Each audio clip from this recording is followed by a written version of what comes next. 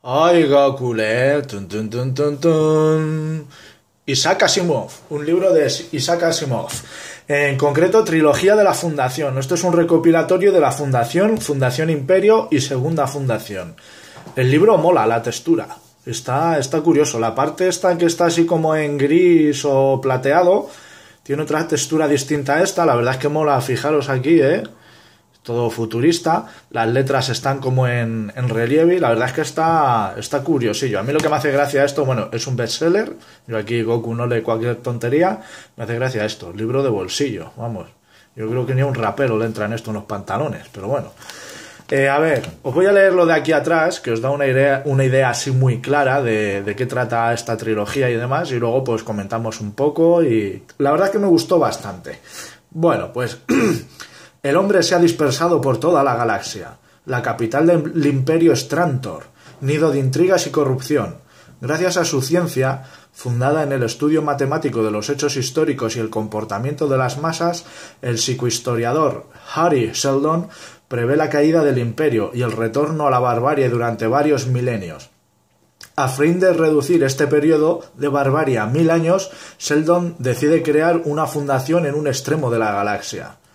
El poderío de la Fundación alcanza límites insospechados. Su dominio se sostiene en la energía, la religión y el comercio. Sin embargo, la aparición del mulo, un personaje que ya, pues cuando lo leeréis, leáis el libro, ya veréis de qué va, un individuo dotado de, una de unos poderes paranormales, desafía todas las previsiones. Ahí es donde empieza ahí el jaleo y ostras, que no, no va a ser todo tan fácil como tenían pensado. Conquistando planetas tras planeta, le gana terreno a la Fundación de manera vertiginosa. La salvación de la galaxia queda en manos de una segunda fundación totalmente secreta y cuyo emplazamiento es desconocido incluso para los dirigentes de la primera. ¿Eh? Va esto aquí, parece un poco rollo Guerra de las Galaxias. ¿eh? La trilogía de la Fundación está considerada la mejor serie de ciencia ficción universal. Como tal, fue galardonada en 1966 con un premio Hugo. Y ahora de bolsillo debe ser esto la, editorial. Igual no es que sea de bolsillo, es que es la editorial. Me gusta leer de bolsillo, se llama .com, la página de esta. No sé si es la editorial o la empresa, bueno, yo os lo dejo ahí dicho. Y me he quedado ya a medias y ahora de bolsillo la presenta reunida en un único volumen. Esto es lo que os digo, en teoría eran varios libros y demás y esto viene todo, todo junto en una única revista, ¿vale? Pues nada más que como veis aunque sea un tocho un poco grande la letrilla es muy fácil de, leer y demás. Y bueno qué decir bueno aquí una anécdota. Mía eh, como veis esto va hablando de pues que hacen unos estudios con una ciencia de que digamos que lo que hace es la, con fundamentos matemáticos combina mm, eh, a ver cómo lo digo a ver centrémonos, perdón por el momento de pensar, pues crea una ciencia este hombre.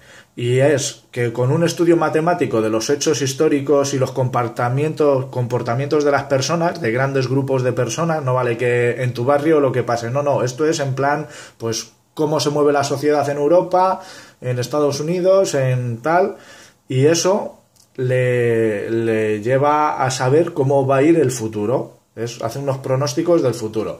Y él, pues como hemos leído aquí antes, lo que va a intentar es que este periodo de barbarie, esto es como si alguien dice, oh, una crisis que va a durar 20 años. Pues yo con esta ciencia voy a intentar que dure solo 5 años.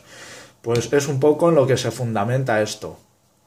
Luego, lo que os decía de la, lo que me pasó a mí leyéndolo, esto, pues eso, claro, empiezas en una fecha y esto va, pues para intentar que un, un gran periodo de barbarie dure mil millones de años, pues dure cinco mil años o, así, algo que sea mucho menos. Pues claro, el, libro va dando bastantes saltos. Esto no os preocupéis que no es mucho spoiler, porque es nada más comenzar la, la lectura. Y yo, joder, me, me, empezó a gustar mucho el libro, muy interesante, había un personaje que me gustaba mucho y de golpe, ¡pum! Oh, se ha muerto todo el mundo, evidentemente, han pasado 500, 300 años y ya de los que estabas leyendo no queda casi ni el recuerdo. Y la verdad es que yo por lo menos me quedé, pero ¿qué mierda es esta? Con lo bien que me caía este tipo. No, luego se le sigue mencionando y tal, pero como que luego no aparece más. Ya se ha muerto, no hace nada más. Y bueno, ¿qué más, qué más decir? pues que está bastante entretenido, es así en plan eh, futurista y tal. Y luego, yo qué sé, pues deciros un poco, está, este tío pues ha escrito novelas y de ciencia ficción, de como hablando de cómo será el futuro y demás, un montón de libros. Eh, por ejemplo, En la arena estelar, Las corrientes del espacio, La bóveda de acero, El fin de la eternidad, El sol desnudo. Luego hay otros recopilatorios, que varios libros de estos, porque este también empieza a hablar de los robots del amanecer, Robot e Imperio y demás.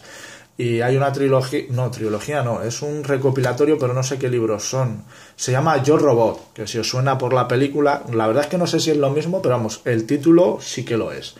Y bueno, yo creo que nada más que decir, pues esta es la lecturilla de esta semana. Un libro muy recomendable, aunque sea así de gordo, ya sabéis que a mí estos libros me asustan, que yo soy más bien de, de estos otros. Aquí por aquí un spoiler del canal. Por ejemplo, aquí, mirad Ambros Bierce. Relatos cortos. Aquí en, esto, igual, bueno, lo vamos a ver de fijo. Si lo encuentro. Mira, aquí vienen una, dos, tres, cuatro, cinco, seis historias cortas, ¿vale? ¿Lo veis?